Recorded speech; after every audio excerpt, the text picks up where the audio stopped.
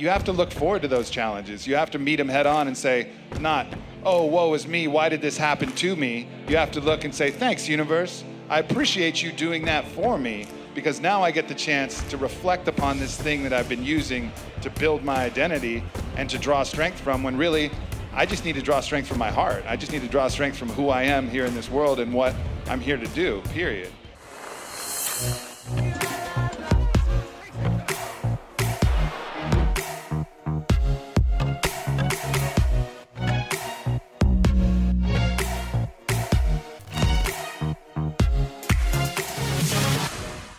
Welcome to, again, the Express Lounge. Thank you guys so much for being here. I appreciate you guys. Um, my name is Lewis Howes. For those, don't, those that don't know, I've got a podcast called The School of Greatness, and we've got the local legend Aubrey Marcus, who's here, who's got a company called Onnit, and uh, his own podcast as well, the Aubrey Marcus podcast. Um, so we're excited to have a conversation with you guys for a little bit, and thanks for sticking around with us. And if you're watching live on Facebook, go ahead and leave a comment of where you're watching from in the world. I'm excited because uh, I've known Aubrey for five years. Yeah, as long as your podcast has been running, man. Five years. When I launched, let's just show of hands. How many people have listened to the School of Greatness? Just so I'm aware, School of Greatness podcast. If you've listened to it, awesome. So I started it five years ago, and he reached out within like for first three months. So we've been pretty close for about five years now. And we've been through a lot together in the business world, in the podcast world, in health yep. stuff we've gone through, in personal stuff we've gone through. We've gone through a lot. So I wanted to have a conversation with Aubrey today. He's also got a new book out uh, next month called Own the Day, Own Your Life. And I love the tagline optimize practices for wa- uh, waking, working, learning, eating, training, playing, sleeping, and sex. So I'm excited about this because Aubrey's got a unique approach to living and living an optimal life. And he's all about how can we constantly learn ways to improve our mindset, our health, our personal relationships, and figure out this crazy thing called life. So welcome, man. Thank you, brother. I appreciate that. I'm yeah. excited about this. Yeah, me too, man. I'm excited I mean, about uh, this. I kind of feel like we're all born into this biological machine and we don't really have an instruction manual, you know? So we're all just kind of figuring it out. And the more external pressure that's out there, the more responsibilities you have, the more family responsibilities you have, the less time you have, the more you have to do, the more it puts pressure on the machine. Yeah. And a lot of things you think you have to sacrifice, a lot of things kind of slip. And so trying to put together like the definitive instruction manual for the human machine to live a fully expressed life was kind of the idea behind fully that. expressed life. The challenge is we were just talking about this beforehand. Even though you have this successful business that is crushing it, you're super in shape, you're you know one of the fittest human beings I know. You've got all your creative projects you're working on. You've got a great intimate relationship. You've got great friendships you know, from the outside looking in, it might look like that you've got a lot of things figured out. But we were just talking about how, you know, you still struggle with certain things. You're like, I'm going through a challenging patch. Even though he's launching his own clothing line, he's got a book coming out, he's got his own charity foundation. Like, you're doing everything creatively that you could probably think of. There's nothing limiting you from doing something. Is that right? No, that's true.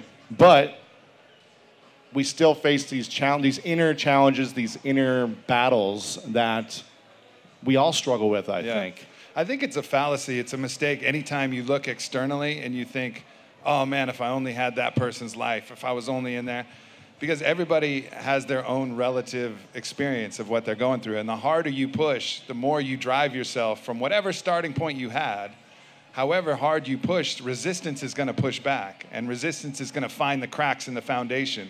You know, it's that weight, and different things that are out of alignment will start to be painful, like putting pressure on a fracture on a bone. You know, the more you push on that bone, the more that nerve ending is going to shoot up a signal and say, hey, you better fix this, or you're going to increase in pain. So you have the choice then, you either numb it out, distract yourself, you know, have some drinks, do whatever else you want to do, or you get to the root of the problem which is somewhere in the psyche.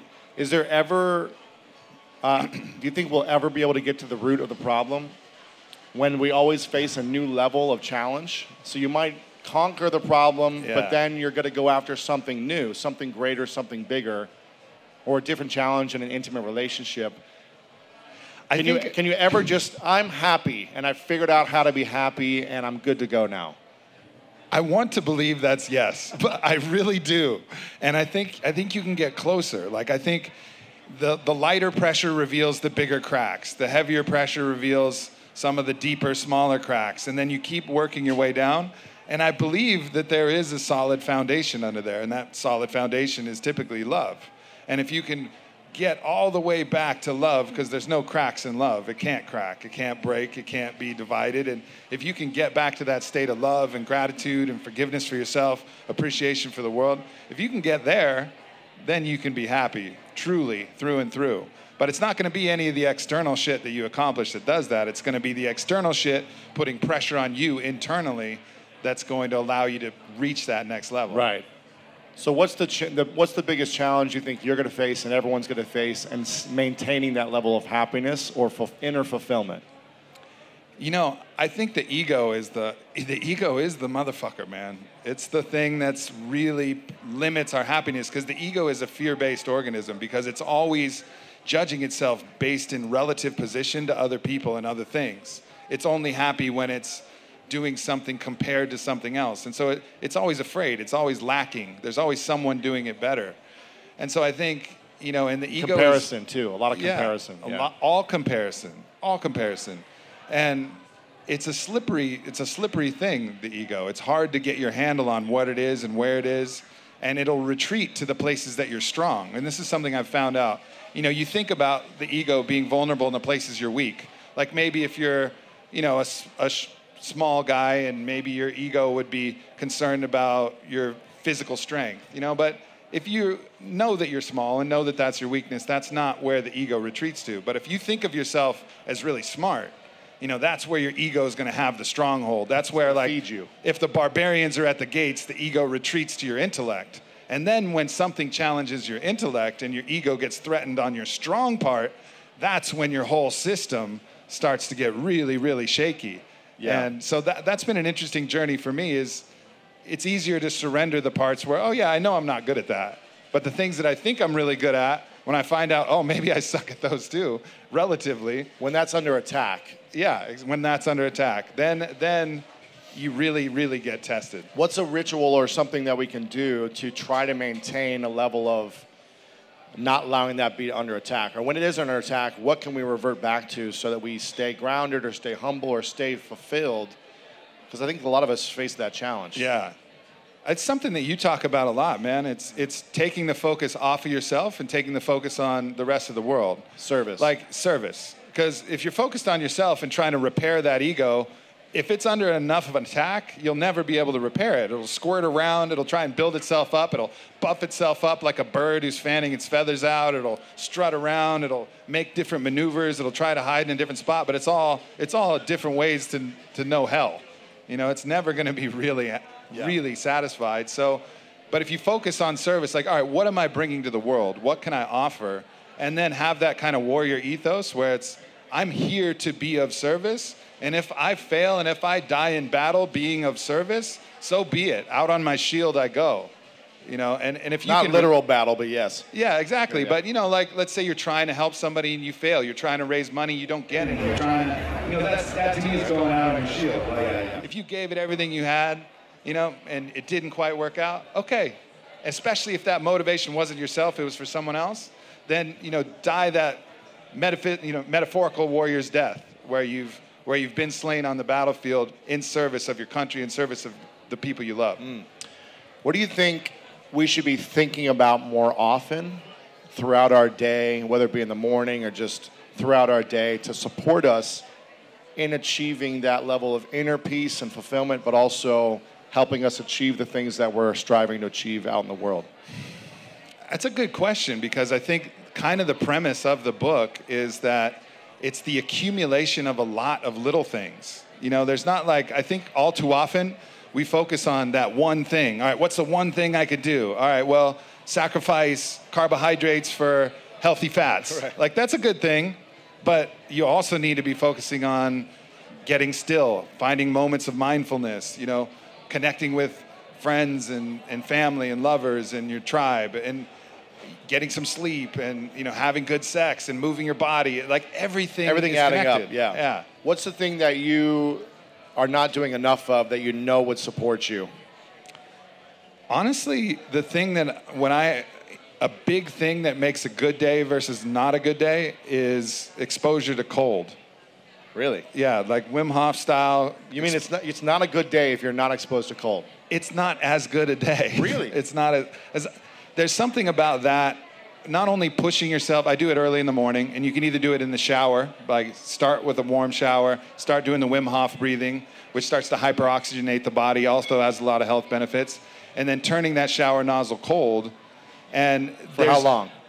for about three minutes is what you want to do, all the way cold. And if you have a cold pool or cold bath, you can do that. But it's twofold. One, it's going to reduce your chronic stress. So norepinephrine goes up, adrenaline goes up, and it drops your cortisol. So it drops the baseline of stress that we all carry all the time.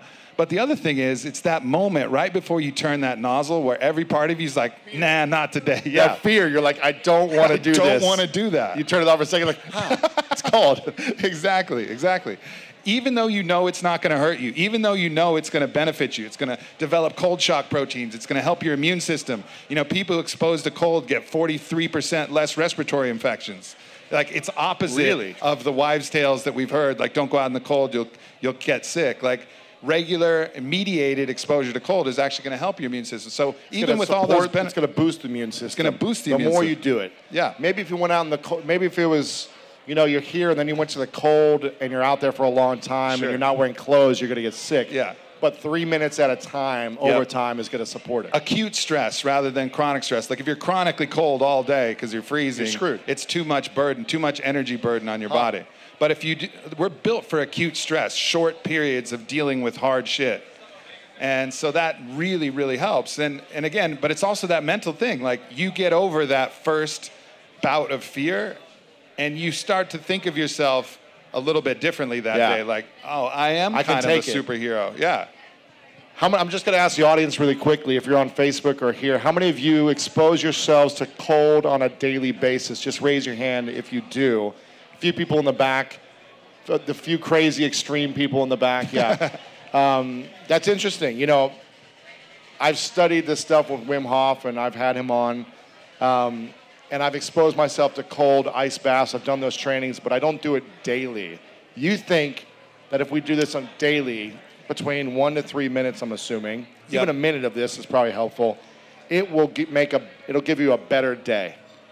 That Une- one thing. unequivocally like that's the thing to me that's that, I, that i'm always riding on the edge i mean i do a lot of the other things in the book obviously getting movement in getting some sunlight in you know setting your circadian there's a ton of things Yeah, but stretching, that, everything, that- yeah. yeah that one particular thing is the easiest thing and the biggest lever for me that that changes the game mentally physically emotionally across the board What happens when you don't do it in the morning? Are you just rushed and you forget to do it? Well, if I don't do it in the morning, not only do I not get the benefits, I'm generally a little bit more stressed.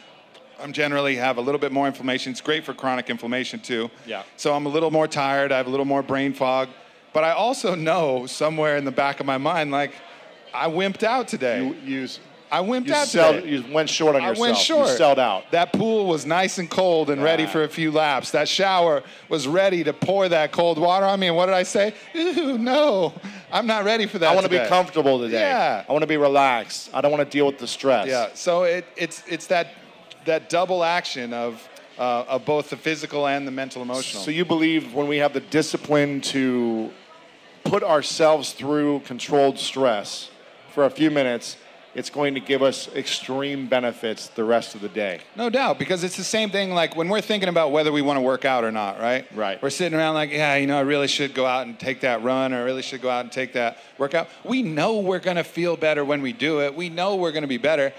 But what is that part of ourself that's going to turn that little bit extra over to the yes column? You know, it's, it's something I call mental override, and I talk about it in the book. It's the ability to use your mind to give you that little extra to push you into yes. And- Mental override? yeah, and it's the same thing that you would same thing that you would use if you need to start that project or if you're screwing around on emails and need to actually get to the meat of the problem at work. It's that same mental technique that's going to allow you to kill it, but you get to practice that in the morning and you get to have that small win so that the next time you're facing that, oh, I really should start that big project or I really should work on this, you just have that same attitude and like, all right, I'm going to do it. Yeah. I think these little habits that we build up every single day, the little stuff, even in one minute at a time, for me, that for me is making my bed every day. It's like mm-hmm. the thing I don't want to do because I never wanted to make my bed. How many people here make their bed every single morning? Show of hands if you make your bed. These are the winners in the house. No, I'm just kidding. I'm a loser then. My whole life, I don't make my bed. My whole life, I didn't make my bed. I think this is my like ice shower, right? Yeah, this yeah. is like my cold shower, and it's the last thing I want to do. I just want to get up and you know have a, you know, put clothes on and just go Get eat or whatever and just get out. But I know when I take you know 90 seconds or two minutes to really be thoughtful and be intentional about you know pulling the sheets back making it nice, putting the pillows in perfect place. I feel so much more productive. I'm like, I am a superhero. I made my bed. Like, I feel like I can do anything. It's Yeah. weird as that sounds, but I'm like, man, this looks good. I feel confident. When I come back at night, I'm like, oh, I can get into this nice made bed. Yeah. And I was like, I'm did, I did that. as silly as that, that. sounds, I don't know, I it might that. sound silly, but for me, it's so meaningful to be able to do that. But I think these little things that we can do every single day to support us, you know, making our bed, the ice shower, or just a cold shower. Uh, what's something else we can do that Well- you think will drastically benefit your day and help you be more productive? Yeah, I'll, I'll mention some other things, but I want to talk about that again real quick because it's not only doing the thing, it's how you do the thing. You know, if anybody's ever read any Zen philosophy and like Zen in the art of archery or Zen in the art of anything, there was a variety of different practices the Zen masters would use flower arrangement, swordsmanship, archery, Gardening. gardening, all kinds of different things. And the idea was to put your entire presence into the activity as a sort of mindfulness. It was a moving meditation. And I think if you not only make your bed and like, oh, I got to make my bed, ruffle the sheets, thinking about a million things, but what if you make your bed with the full intention to have your entire presence towards making the bed, towards smoothing the wrinkles, towards getting the pillows in the right spot, and you put all of your attention into that, then not only are you making your bed, but you're also meditating. You're also Zen meditating as you're doing it. And I think we have that opportunity no matter what it is. It could be pouring this Topo Chico over ice cubes mm. and pouring it in just the right way that the bubbles splash against the ice and it comes up. And if we put our entire attention into that moment and that thing, that's mindfulness. That's meditation. That's getting still. That's clearing the clutter of our mind for a moment. And that's something I talk about a lot in the book as well. It's meditation doesn't have to be the only thing you do in a dark room with the right incense and your perfect music and your favorite cushion and your little altar. I got all that shit too, but you can meditate by being present and being mindful, doing a million different things during the day. Yeah, I think that, you know, in sports they call that deliberate practice. And I think it's just being prideful of your work as well. It's like being a proud artist. You know, a Yeah. chef is like more of an artist where they really are intentional about the experience, the look of the food, the look of the plate, how it wants to smell, like everything, the texture, and being deliberate in your practice. I think that's really cool. What's something What's the biggest fear that you're facing right now? Again, Aubrey's a guy who's got a successful business, successful relationships, healthy. He's able to be creative. He's flexible. He can travel anywhere at any time he wants. He's got financial resources. He's got abundance of friends. And he can take on any creative project that he wants. So I'm curious, what's the fear that you face with so much available at your fingertips? What's the big challenge or the fear?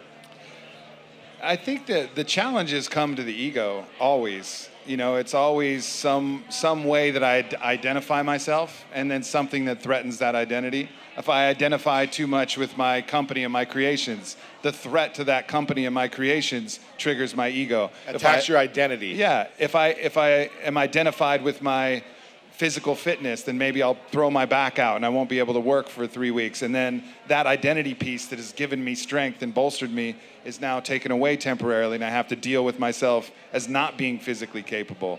Or, you know, I'm also in an open relationship, and that challenges so many things about my security as a man and as a lover and as all of these things. So a lot of the challenges come in that way, but you have to look forward to those challenges. You have to meet them head on and say, not, oh, woe is me, why did this happen to me? You have to look and say, thanks, universe. I appreciate you doing that for me because now I get the chance to reflect upon this thing that I've been using to build my identity and to draw strength from when really I just need to draw strength from my heart. I just need to draw strength from who I am here in this world and what I'm here to do, period.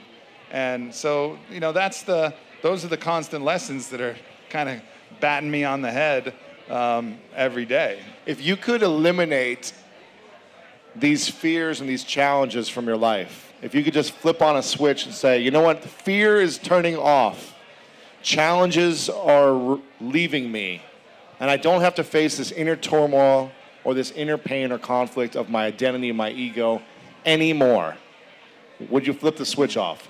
That's like asking if you have a favorite video game. It's like your favorite video game, and you're like hunting zombies, and you like love going through, and you like every new level has different zombies and boss monsters, and, and you ask that person, hey, would you like me to take all the zombies out of your video game? You'll just cruise around. I'd be like, nah, the game wouldn't be the game anymore. And so while it's appealing at certain points, like if I could be selective and be like, I'll, I'll remove this one, please. I'll remove this one. You can't remove all the challenges. It's why we're here. It's what makes it interesting. It's the contrast. It's something to strive for. How do you be a warrior if there's no, you know, dragons to slay? You know, how, how do you express yourself through adversity if there's no adversity? How do you lift weights if you're on the moon and there's no gravity?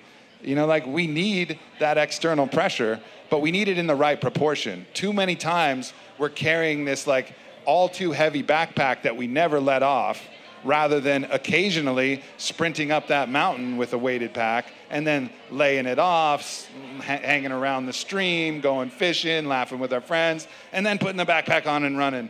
You know, we don't do that. We just carry it around with us 24 7 all the time, you know, medicating up and down with caffeine and sugar and whatever, you know, things that we use to distract ourselves and that's the difference. We're built for short periods of acute work and longer periods of rest, recovery, and relaxation. And that's the rhythm. That's the biological rhythm of all life. You know, a tiger who hunts and then lazes around with the pride.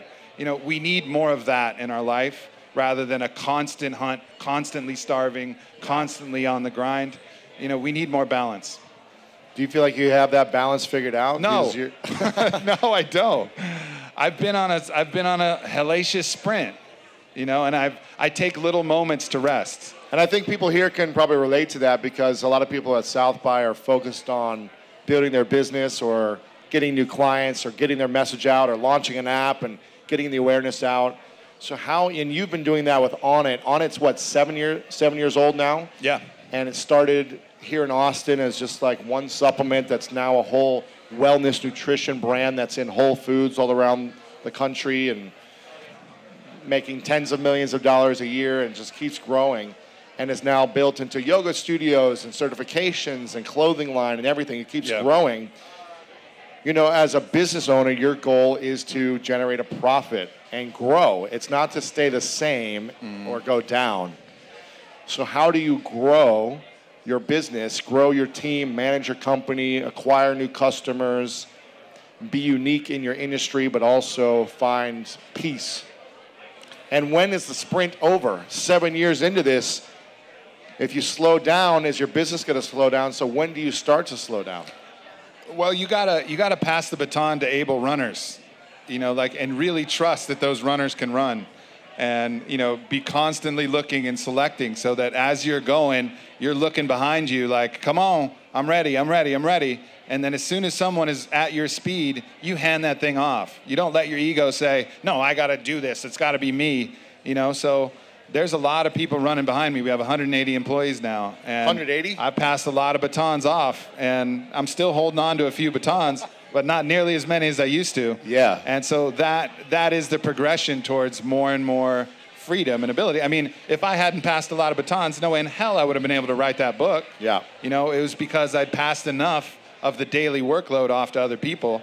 And you know that'll just continue. There's going to be more and more capable people yeah. who come behind that I can pass that baton to, and they'll take that and run with it, and yeah. that'll be their that'll be their sprint.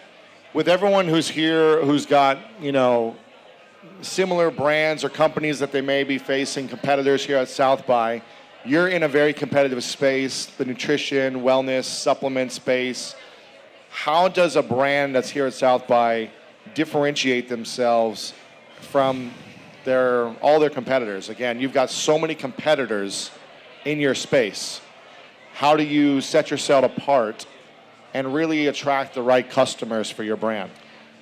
I think it. I think we can get in kind of marketing speak, and we can talk about a brand, and we can think about how cool that brand looks. We can think about the other associations that we can draw from it by. But I think there's a, an authenticity and a truth to the movement behind that that I think everybody really needs to focus on. Like, we can do all of the different techniques and the tools, and that'll that'll generally work. But how real is the message that you're putting out? How authentic, how valuable is the product that you have? Like if you scratch the layer of your scratch off ticket that's your company, is it more of the same, more of the same, more of the same?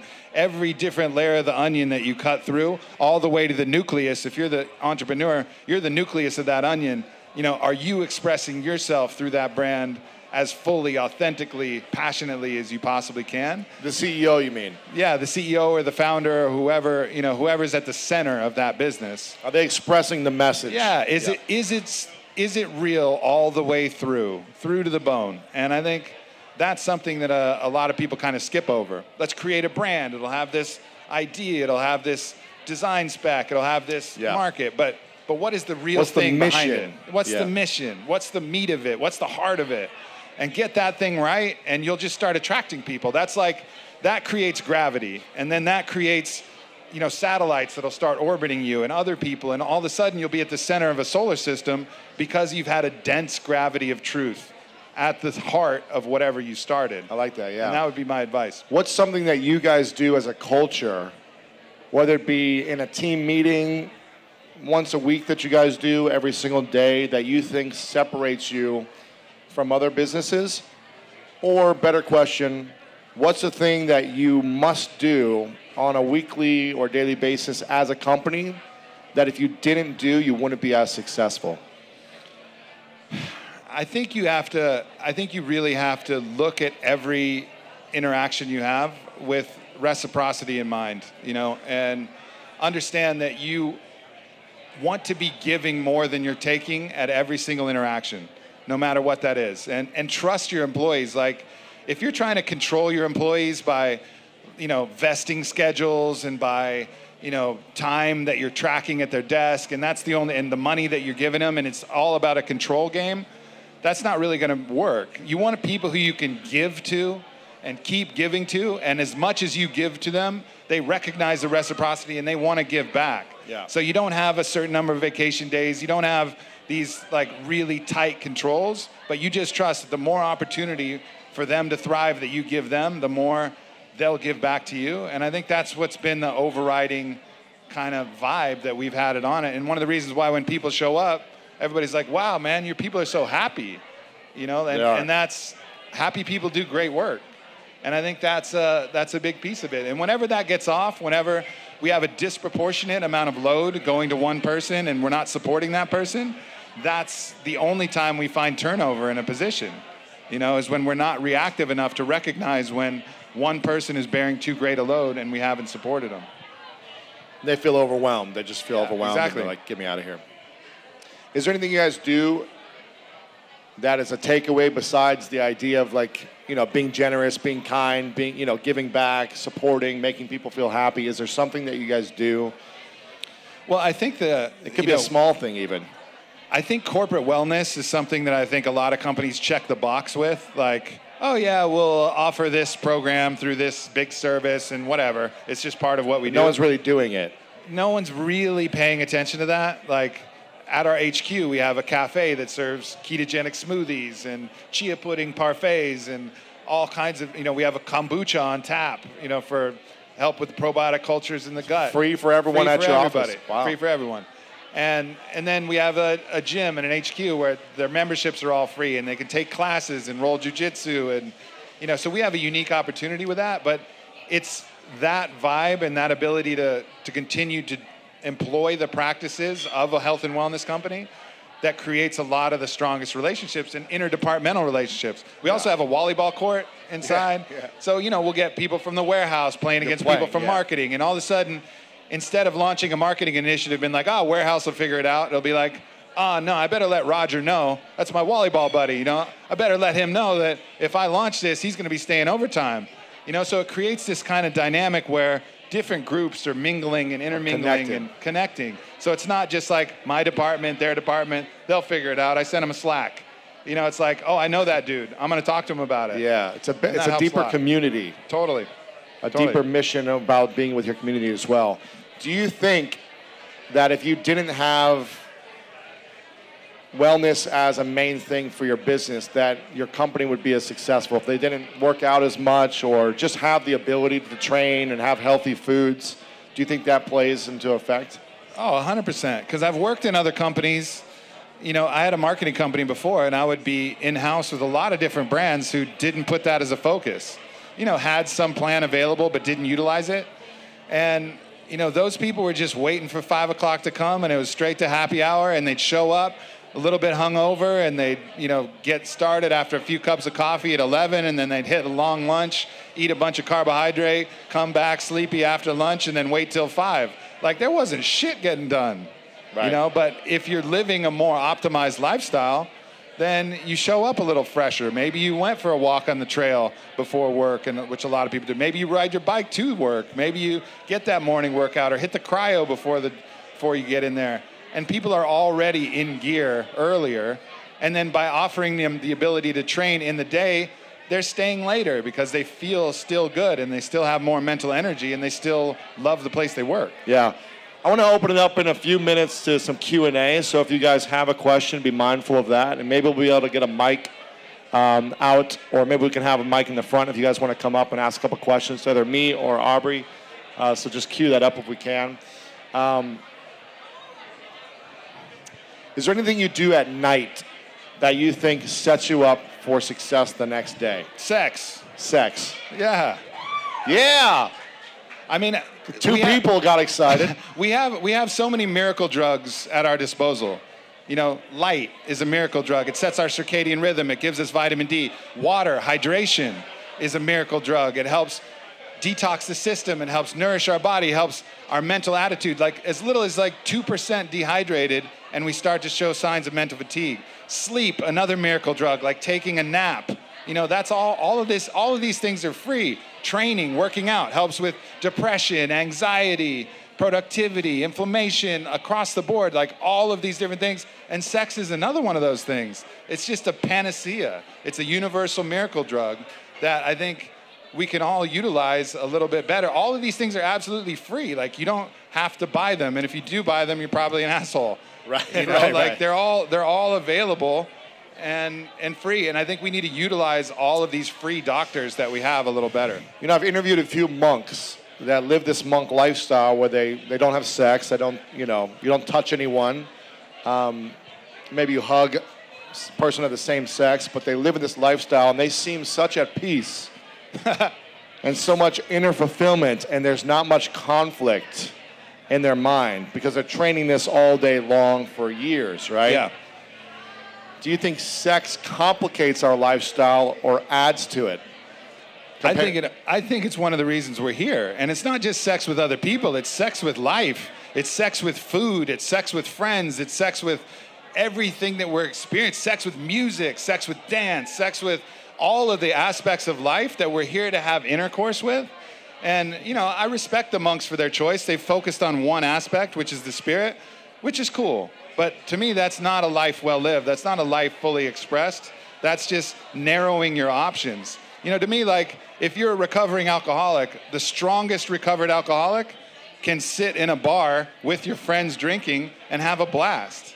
You know, the person who has to stay away within a square mile from anything that has alcohol, you're probably a little shaky. You know, so can you be a monk and be in relationship? You know, can you be a monk and have sex and have all the things?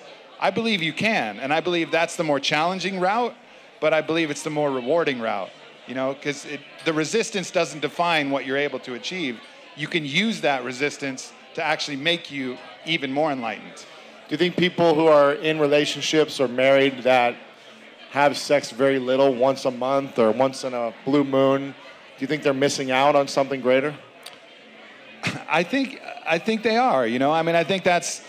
It depends. You know, maybe they've expressed that in a different way. Maybe that love and zest and intercourse, the physical love of life, isn't genitally expressed. And I can understand that. Like if they're a foodie and they love that and they get out and they dance and they do these other things that really nourish that part. But if you're kind of closed off to all of the physical expression of, of touch and love and joy, then at that point, I really think you're missing. So There's it isn't beneath- just, yeah. and that's what I talk about in the book too. It's like we define sex so narrowly. It's the act of penetration, you know, and we put so much pressure on it. and We get stuck in our head about it. Like, expand the whole thing. What does it smell like? What does it touch like? Sex starts from that very first look that happens when you go through the door and you see your partner and that little smile and that first smell when you give them a hug. And that's when it starts and it doesn't end till later. Like, expand the definition, like have a broader definition of physical love and really enjoy it and find a way to enjoy it. And if you don't enjoy it,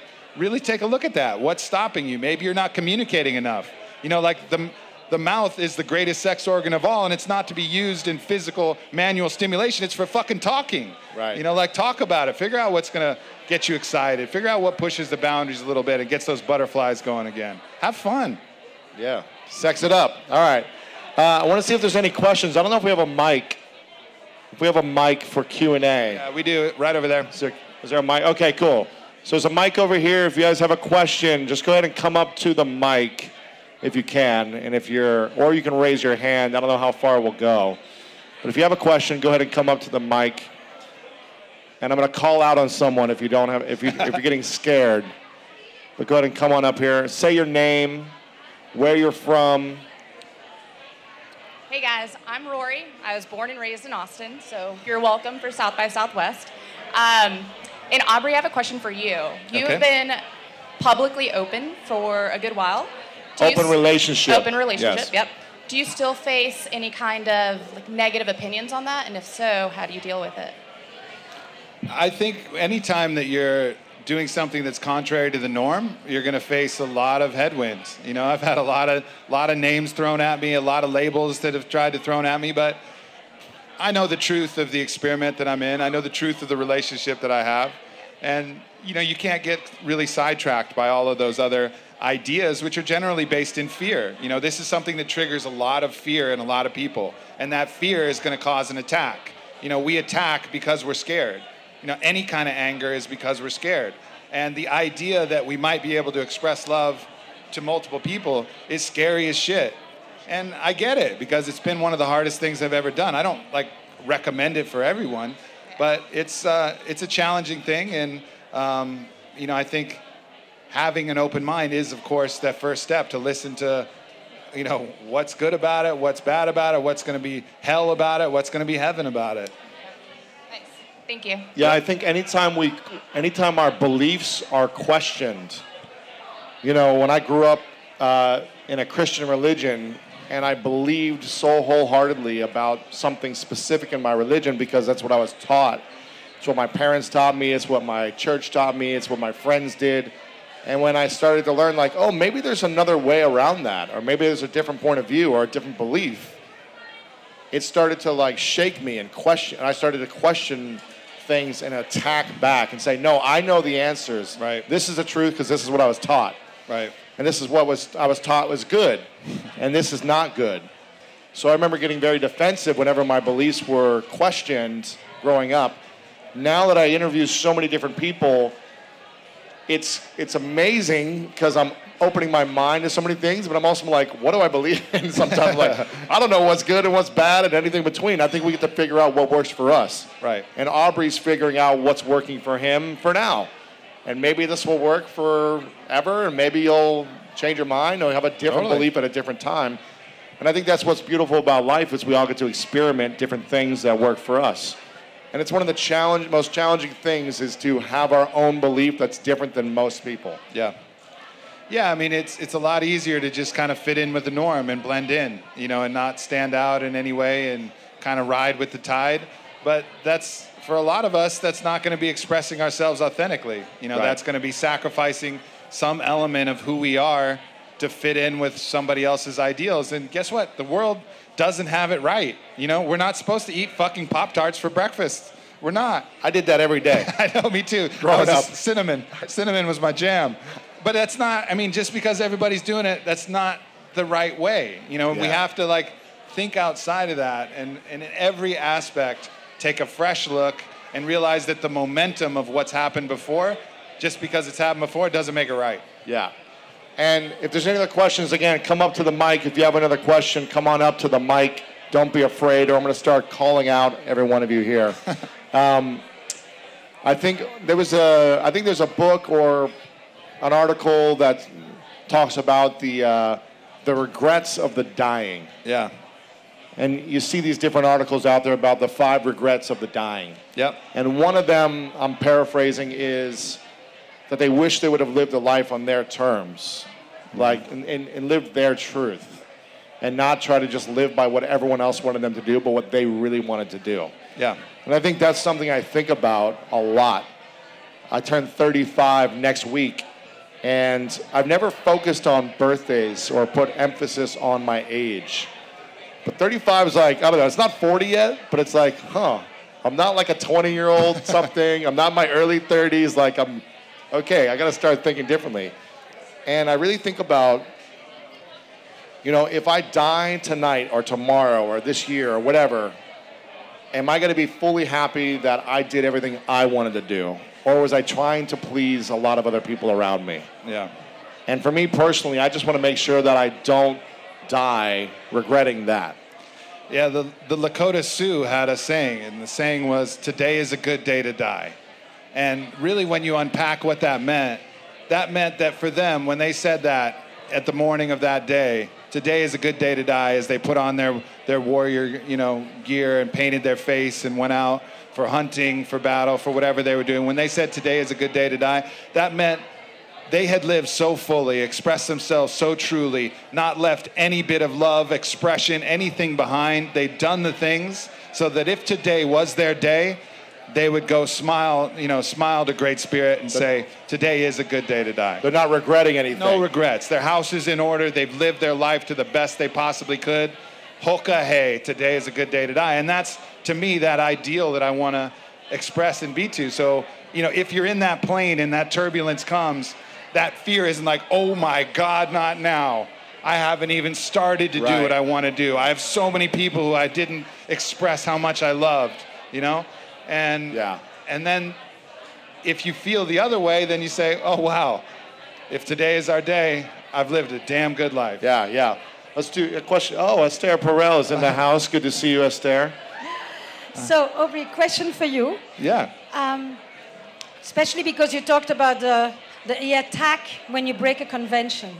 Do you think that the, the experience and the pressure of opening up the mind, the conversation, and the relationship is different for men and women? It's, I think the, well, first of all, it's an honor to even receive a question from you. I'm a big fan of Those who don't know who Esther Perel is, give it up for Esther Perel. She was the keynote speaker at South by South by yesterday. Has an incredible book that has transformed people's lives and their relationships. She was also one of the top 10 most viewed podcasts on the School of Greatness. Yeah. Um, so yeah, I'll, I'll unpack that a little bit because I think the sheer weight of the pressure I don't think is different, but it, it applies differently. The attacks come in different angles. The the stress comes in different ways. You know, and, and when I express this to different sexes about the open relationship, and typically it's a conversation that me and my fiance have, you know, together, and different sexes have far different reactions to that. You know, for the men that I express it to, oh man, you get to have sex with other women. That's incredible. That's awesome. But then I look them in the eye and say, yeah, but how would you feel if the woman you love more than anyone else was having sex with somebody else and really enjoying it? Would you love her and love the person who is giving her pleasure? Could you handle that? Oh, hell no, man. Oh, hell no. And then their own fear instead of instead of saying like wow that would be hard to have that conscious perspective and have the perspective of anyone who's making someone I love happy is my friend rather than my enemy, like doing the work to do that, they'll you know make those assumptions like, oh, you're just a cuckold. This is what turns you on. This is a fetish of yours. blah blah blah. You're weird. Something's wrong with you. I'm like, no, it's really hard, but this is a choice that I made, and I believe from a conscious perspective, this is how love can be expressed, and I can love two people who are enjoying love even if I'm not a part of it. And then on the female side, it's more, you know, the, the pressure is also different. There's this idea surrounding, you know, marriage and how you kind of ca- get one man and you kind of that's your man and if he's sleeping with anybody else he's going to leave you. And there's a lot of like other fear about the security of the relationship that comes up and i think they have to deal with that. Like how could you let that happen? How is how is he not just going to run away with somebody else?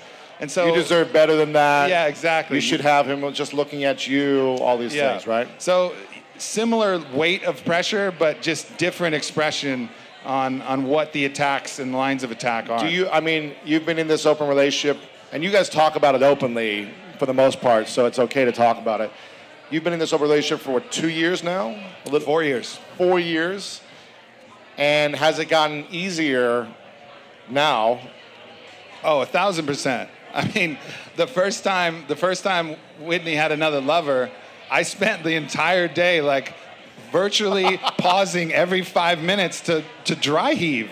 Like the emotions in the pit of my stomach were so hard to deal with. Like that feeling of oh my god, I can't believe it. That's my girl. How did oh I would literally have to take a knee and like heave for an entire day. Really? Yeah, and that was day one.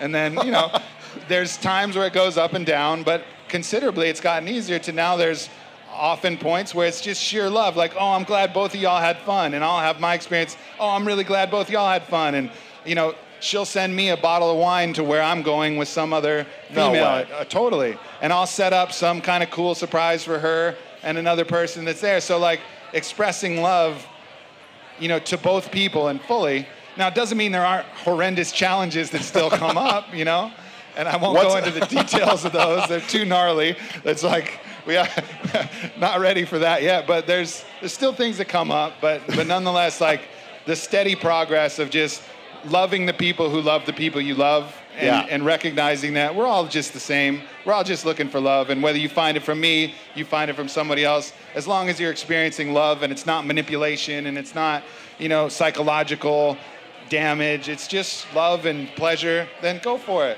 You know, live this life. And that's, uh, that's what it teaches you. And that's just the way Aubrey's decided to live his life. So, um, thanks, Esther, for the uh, for the for the question. Thank you again to Express for having us here. I want to finish with one final question. Uh, but make sure you guys check out the new book. It's called Own the Day, Own Your Life Optimized Practices for Waking, Working, Learning, Eating, Training, Playing, Sleeping, and Best of All Sex uh, by Aubrey Marcus. So you can check it out. It's, it's out next month. You can pre order it now. Own the day, own your life. Final question for you. It's called The Three Truths. Uh, if this was your last day and many years from now and you were able to achieve everything you could imagine, you brought it to life, every experience, every dream happened, every business, every book you wrote, you made but you had to take it all with you, and no one else could experience it anymore. You had to take it with you when you die, all of it. But you got to leave the world behind with three truths, three lessons that you knew to be true about your experience that you would want the world to remember you by. What would be the three lessons or the three truths for you? Yeah, that's a, that's a really good question. I think, um, you know, the first is that heaven isn't some place that we're going to later. Heaven is available to us right now. And it's going to take going through hell to find it usually. And it's going to go going through the hell of dealing with your own ego, dealing with your own shit. Um, but there's a way to enjoy this life so that it is heaven and to really feel that. And that's, a, that's what I think our birthright here is. And it's great to help other people do the same thing. So, for one, experience that. You know, really, truly experience life as heaven. Find the ways for you to do that. Number two, help other people find the ways to, you know, help see this as heaven because we're all in this together. And the other one is, you know, I think let's recognize that fear is the, the one true virus that we all carry, you know, and and be mindful that no matter how what we do, if we're engaging in fear, if we're indulging fear, and this is not just self-preservation or danger, that's something else.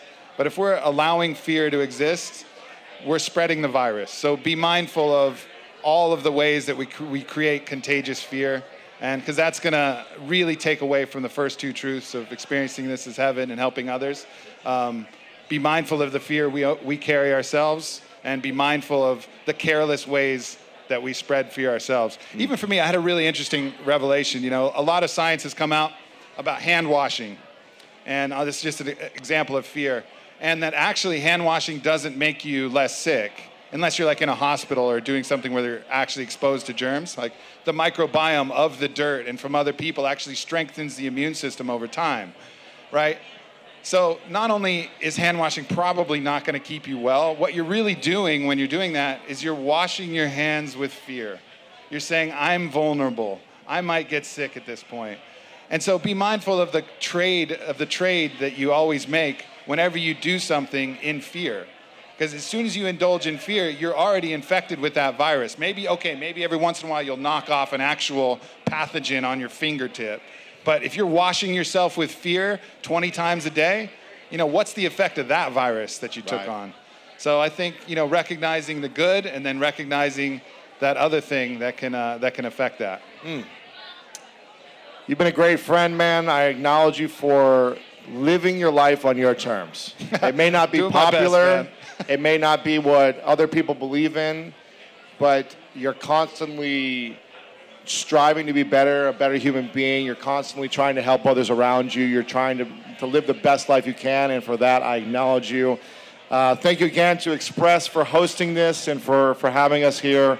Let's give it up for Aubrey Marcus. Thanks, everybody. Own the day, own your life. Thank you guys again, and we'll stick around and hang out for a little bit afterwards, but thanks for being here. Thanks, everybody.